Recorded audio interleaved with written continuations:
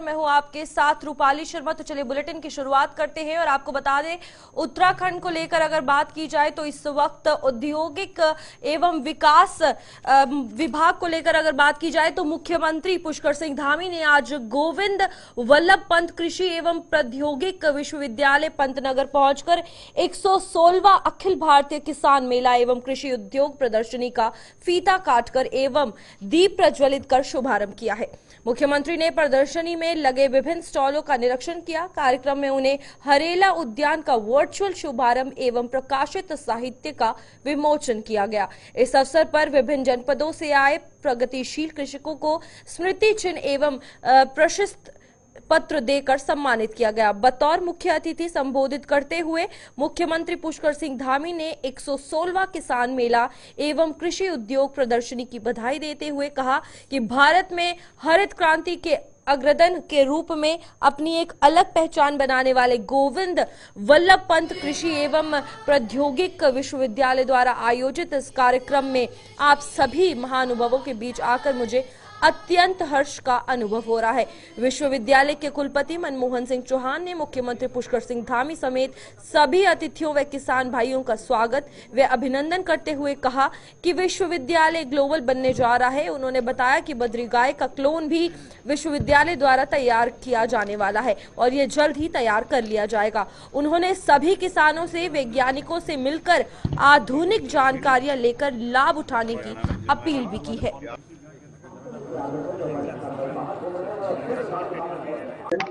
बहुत बड़ा है और अपने आप में विद्यालय का भी अपना बहुत बड़ा स्थान है निश्चित रूप से ये मेले हमारे कृषि के क्षेत्र में होने वाले अनुसंधान, नवाचार, किसानों को मिलने वाली सुविधाएँ, जानकारियाँ इस प्रकार की चीज़ें उपलब्ध कराते हैं और यहाँ पर एक साथ हमारे वैज्ञानिक भी मिलते हैं, उद्यमी भी मिलते हैं, किसान भी मिलते हैं और सब मिलकर जब सब पर चर्चा करते हैं तो निश्चित रूप से किसान भाइयों को इससे बहुत लाभ होगा और बहुत लाभ होता आया है और भविष्य में और अच्छा हमारा विश्वविद्यालय करेगा। कृषि के क्षेत्र में अनुसंधान के क्षेत्र में मेरी सभी किसान भाइयों को बहुत शुभकामनाएँ कि हमारे प्रधानमंत्री जी का जो संकल्प है दो हज़ार सैंतालीस में भारत, विकसित भारत बनेगा। उसमें हमारे किसान भाई उस प्रगति में तेज़ी से आगे बढ़ेंगे। किसान हमारी प्राथमिकता है, हमारे इसी में आपको बता दें कि विकास नगर में भी भारतीय जनता पार्टी द्वारा सदस्यता अभियान जो है चलाया जा रहा है और आपको बता दें कि भारतीय जनता पार्टी के द्वारा जो सदस्यता अभियान चलाया जा रहा है, वह जोरों शोरों से चल रहा है और इसी क्रम में विकास नगर की ग्राम बैरागी वाले में ओबीसी मोर्चा भाजपा के जिला अध्यक्ष रविंदर धीमान के नेतृत्व में सदस्यता अभियान चलाया गया। वहीं ओबीसी मोर्चा के प्रदेश अध्यक्ष राकेश गिरी सदस्यता अभियान के कार्यक्रम में पहुँचे और ग्राम बैरागी वाले के कश्यप मोहल्ला में लोगों को भारतीय जनता पार्टी की सदस्यता ग्रहण करवाई। वहीं उनके द्वारा बताया गया कि भारतीय जनता पार्टी इस समय सभी जगह पर सदस्यता अभियान चला रही है। इसी क्रम में ये सदस्य विकासनगर, ग्राम बैरागी में चलाया जा रहा है और भारतीय जनता पार्टी का यही लक्ष्य है कि ज़्यादा से ज़्यादा लोगों को देश भर में सदस्यता दिलाई जाए। इस पर कौन कर दीजिए भारतीय जनता पार्टी। माननीय श्री राकेश गिरी जी उपस्थित हैं। मैं आपका अपनी ग्राम सभा में पधारने पर आपका स्वागत करता हूँ। भारतीय जनता पार्टी का सदस्यता अभियान सबसे यशस्वी पार्टी आदरणीय भारतीय जनता पार्टी के राष्ट्रीय अध्यक्ष आदरणीय जेपी के द्वारा दी। और तीन तारीख को यहाँ पर उत्तराखंड में मेरे प्रदेश के युवा मुख्यमंत्री आदरणीय पुष्कर सिंह धामी जी ने हमारे देश के, हमारे प्रदेश के अध्यक्ष आदरणीय से उन्होंने सदस्यता ग्रहण की। उसके बाद पूरे प्रदेश में ये हमारे सदस्यता कार्य चालू हो गया और पूरे देश में हमारे आदरणीय नड्डा जी के नेतृत्व में शुरू हुआ। तो आज मैं उत्तराखंड की बात करूँ तो उत्तराखंड में पहले फ़ेज़ में पच्चीस तारीख तक हमारे तेरह लाख के लगभग हमारे सदस्य बन चुके और वर्तमान में जब मैं आपसे बात कर रहा हूँ उस समय, यहाँ पर विकास नगर विधानसभा में, इस समय तक फिर दो लाख और बढ़कर पंद्रह लाख अब तक बन चुके हैं। और इस समय एक तारीख से लेकर के पंद्रह तारीख तक ये अभियान के रिसेप्शन का शुरू हुआ। और इस अभियान को सभी मोर्चे अब अपने स्तर से शुरू कर रहे हैं। और इस मोर्चे में भारतीय जनता पार्टी ओबीसी मोर्चा आज विकास नगर में अभी यहाँ पर सक्षम समाज के बीच में बैठ करके सदस्यता अभियान करा रहा है। इससे पहले राठौर विधान राठौर समाज के बीच में थे हम लोग। तो प्रतिदिन हम तीन चार समाजों के बीच जा करके भारतीय जनता पार्टी की सदस्यता ग्रहण करा रहे हैं। ओबीसी मोर्चे के सभी कार्यकर्ता हमारे जिलाध्यक्ष हमारे यहाँ के रविंद्र धीमान जी है, हमारे यहाँ के मंडल अध्यक्ष नरेश जी है, हमारे डॉक्टर साहब है, और हमारे साथ हमारे मछुआरा प्रकोष्ठ के हमारे राजीव कच्छल जी है, हमारे कार्य प्रभारी हमारे सपने सतपाल सैनी जी है, सभी लोग मिलकर के इस अभियान को तेज गति देने के लिए हमने कार्यकर्ताओं के बीच में जाकर के, समाज के बीच में जाकर के भारतीय जनता पार्टी को भारतीय जनता पार्टी को जोड़ने का काम कर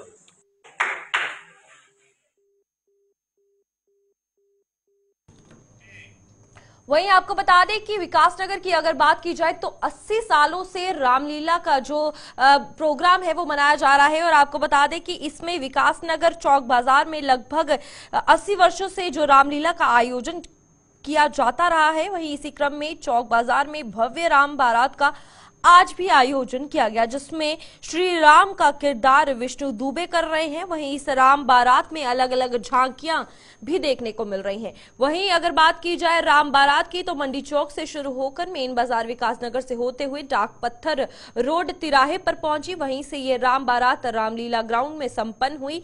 उसके बाद श्री सनातन धर्म सभा के भंडारे में भी लोग जो है वो पहुँचे और उसके बाद स्टेज पर राम का भव्य दरबार लगाया गया।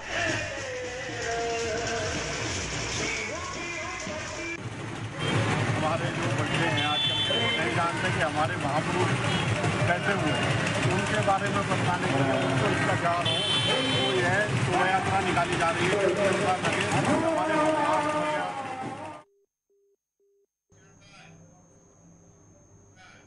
विकासनगर के बाद आपको बता दें कि हल्द्वानी में भी उत्तराखंड की सबसे बड़ी रामलीला रैली का आयोजन किया गया, जिसमें आपको बता दें कि हल्द्वानी की अगर बात की जाए तो मर्यादा पुरुषोत्तम भगवान श्री रामचंद्र के विवाह पर राम बारात का भव्य आयोजन किया गया। जिसमें शहर के हज़ारों लोगों ने शिरकत की। इस दौरान राम बारात निकलने से पूरा शहर भगवामय हो गया। राम बारात लुटरिया बाबा आश्रम से रामलीला मैदान तक गई। इस दौरान जगह जगह लोगों ने पुष्प वर्षा कर राम बारात का स्वागत किया। राम बारात में विभिन्न प्रकार की धार्मिक झांकियाँ भी निकाली गई। भगवान श्री राम की बारात पूरी तरह आपको बता दें कि देखने वाली थी जिसमें शहर के हजारे लोगों ने हिंदू हिंदुत्व का बीड़ा उठाया। इस दौरान सांसद अजय भट्ट सहित क्षेत्र के सभी जनप्रतिनिधि और गणमान्य लोग भी मौजूद रहे।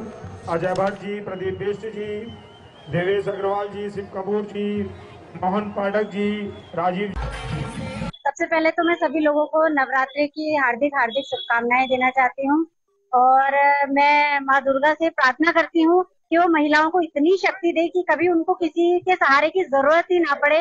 वो अपने हुए अपराध के लिए खुद आ, सक्षम हो जाए खुद दुर्गा का रूप ले खुद चंडी का रूप ले।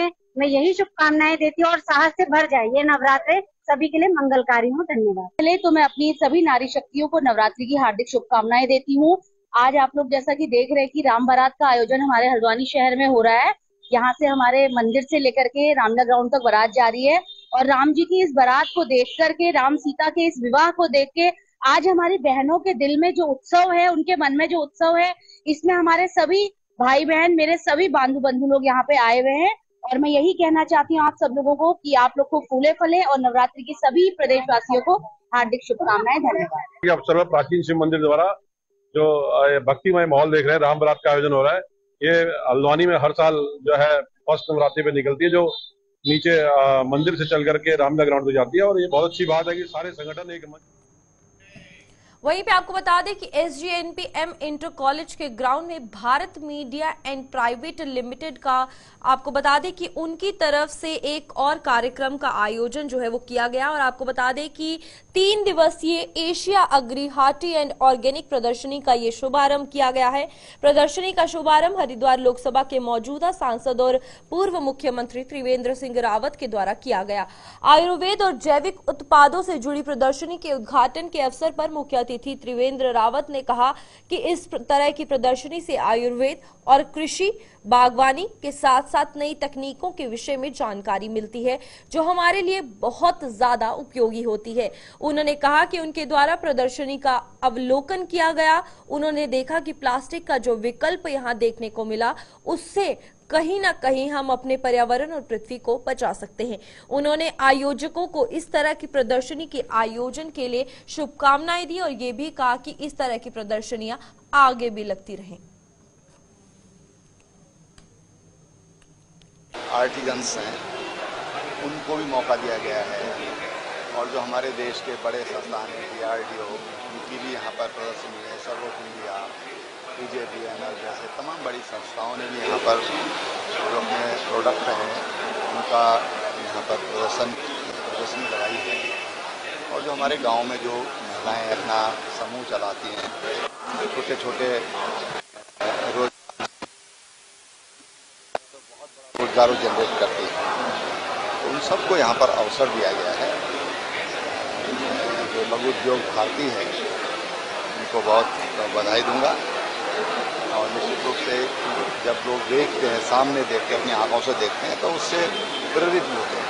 तो जो लोग यहाँ पर आएँगे प्रेरित होंगे और कुछ आ, अपने नए स्टार्टअप करने की प्रेरणा उनको मिलेगी। अक्टूबर वाइब्रेंट उत्तराखंड इसका नाम हमने दिया है।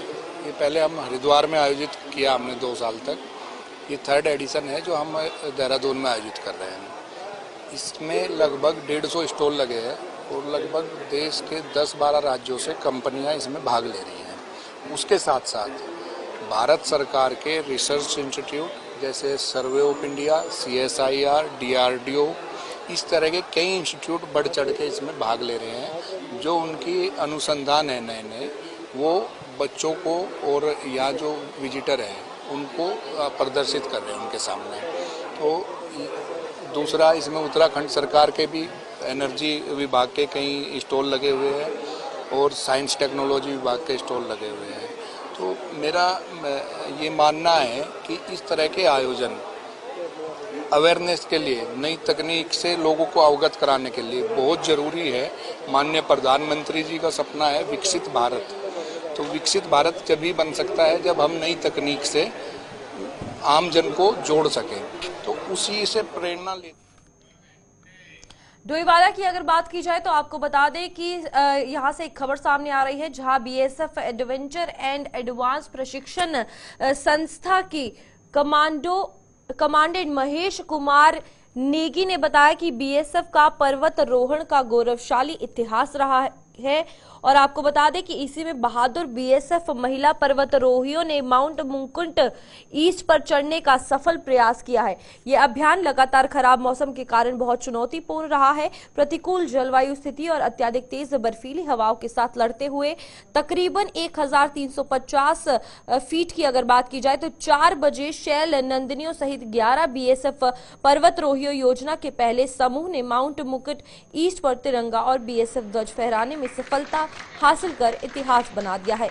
दल का उद्देश्य महिला सशक्तिकरण एवं साहसिक खेलों में महिलाओं की भागीदारी को बढ़ावा देने के साथ साथ स्वच्छ भारत, स्वच्छ हिमालय का संदेश भी है। लगभग एक बज के बजे mount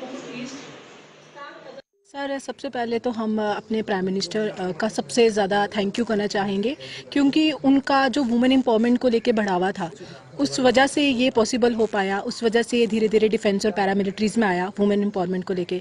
And secondly we very thankful to our D G B S F कि उन्होंने आगे हमें बॉर्डर से ला ला के, फिर बेसिक एडवांस कोर्स करवा के और यहाँ तक हम आए।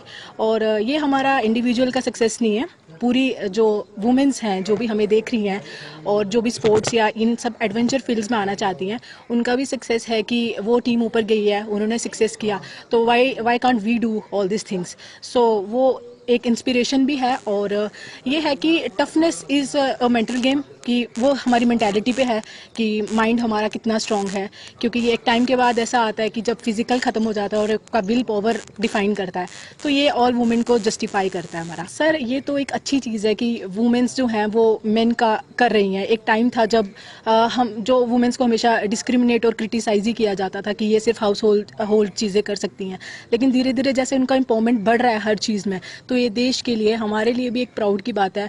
और स्पेशली जैसे हम जो गाँव के लोग हैं, हम भी गाँव से बिलोंग करते हैं और यहाँ तक हम आए। तो इसमें वुमेन एम्पावरमेंट का भी बढ़ावा है। हमारे गाँव से पहले, पहली लड़की मैं भर्ती हुई थी। धीरे धीरे आज देखा हमने कि बड़ी सारी लड़कियाँ तीन चार लड़कियाँ भर्ती हो गई हैं। तो एक दूसरे को देख देख के ये हमारा बढ़ रहा है। और पहले जैसे हम माउंटेनिंग शुरू किया तो हम माउंटेन से ही हैं। लेकिन जो उसका एक्सपोजर रियल एक्सपोजर की माउंटेनिंग क्या होती है, ये तो हमें बीएसएफ ने दिया। पहले तो मैं हमारी पूरी टीम को बधाई भी देना चाहता हूँ और जो बीएसएफ ने एक लक्ष्य रखा था कि हमारी जो है नंदनियाँ जिसमें बारह हमारे माउंटेन्स थे, महिलाएँ, उनको जो है इस बार सात हज़ार एक सौ तीस मीटर ऊँची जो है पर्वत पर पर्वतोरण के लिए भेजा गया था। जिनमें इन्होंने सक्सेसफुली इसको क्लाइम करके जो है चार ने क्लाइम कर लिया था और थोड़ी जलवायु खराब होने के अलावा चार भी बाईस हज़ार, साढ़े बाईस हज़ार फीट तक अपने आप को डाला और कई दिन तक तो वहाँ रहे। तो ये बहुत बड़ी उपलब्धि है। महिला सशस्त्रीकरण की तरफ़ एक कदम है। और आने वाले टाइम में इस तरह के और भी एडवेंचर स्पोर्ट्स होते रहेंगे और उनमें इनकी भागीदारी भी बढ़ती रहेगी। और मेरा ये कहना है कि पहले तो यहाँ पे इधर बायस कोई है नहीं।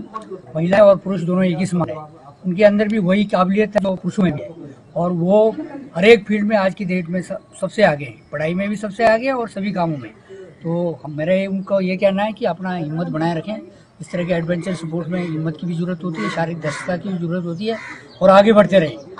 इस बार आप लोगों ने सात हज़ार एक सौ तीस मीटर की चोटी को फतेह किया है और मैं चाहता हूँ कि आने वाले टाइम में आप जो है माउंट एवरेस्ट भी फतेह करें और बीएसएफ का और जो है देश का तिरंगा उस पर भी फहराए और अपना महिला सशक्तिकरण और महिला शक्ति का भी जो है आप अपना उदाहरण पेश करें। चलिए खबरों का सिलसिला ऐसे ही जारी रहेगा। लौटते एक छोटे से ब्रेक के बाद।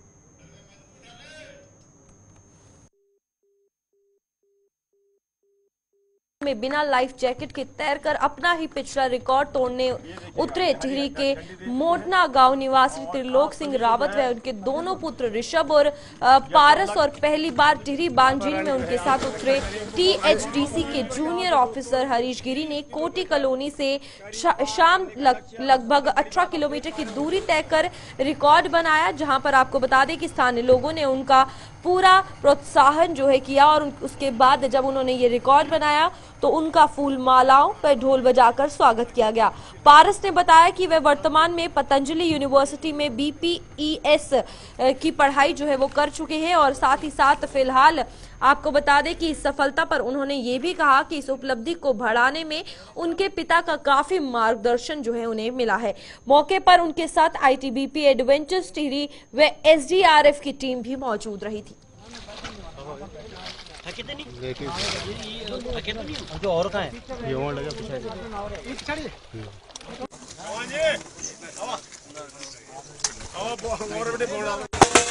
तैराकी में इसका जो है, पहले से हॉबी रही है और इस चीज़ पे बहुत पहले से प्रयासरत था कि इस टीरी झील में इसको मौका दिया जाए।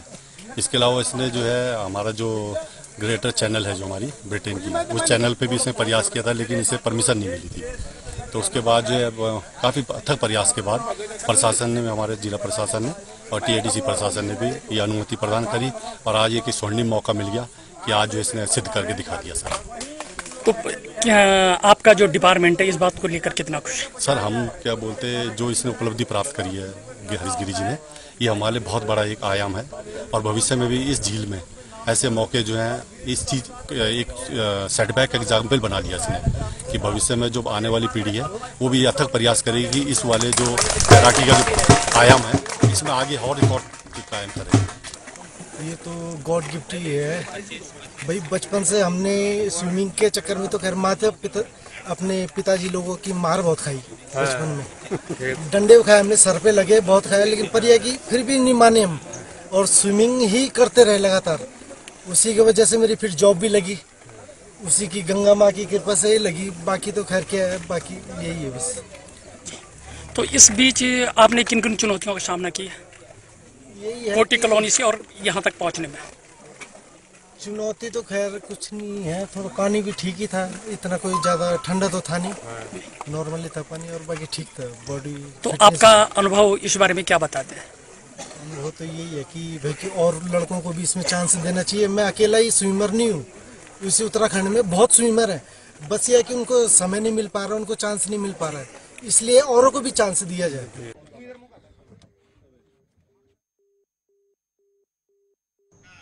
इसी के साथ देहरादून की अगर बात की जाए तो आपको बता दें, वहाँ के नवनियुक्त जिला अधिकारी जो कि आरटीओ की अगर बात की जाए तो वहाँ पर लगातार एक्शन मोड में नज़र आ रहे हैं। आपको बता दें कि लगातार जिला अधिकारी सरकारी दफ्तरों का निरीक्षण कर रहे हैं। जिला अधिकारी दिन निकलते ही आरटीओ कार्यालय पहुँचे और आरटीओ के रिकॉर्ड रूम का निरीक्षण किया गया। इसके साथ ही आम जनता से भी बातचीत की गई लाइसेंस बनवाने आए कुछ लोगों से भी जानकारी जो है उनके द्वारा हासिल की गई और अधिकारियों को निर्देश भी दिए गए हैं कि कार्य समय पर किया जाए इसके साथ ही जिलाधिकारी के निरीक्षण के बाद आरटीओ कार्यालय में जमावड़ा लगे हुए दलालों में भी खलबली मचती हुई नज़र आ रही है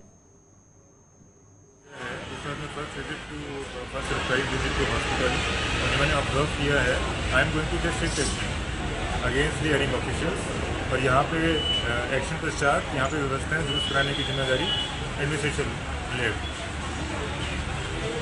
हमारे जितने भी इनके रिकॉर्ड्स हैं, जितने भी इनके बजट शीट्स हैं ड्यूटी चार्ट्स हैं, उनको सबको आज सीज कर दिया गया है। आगे हमारी तहसील में डिस्ट्रिक्ट मीटिंग शेड्यूल्ड है। वहाँ पर उनको कॉल किया गया long with then we will plan out for this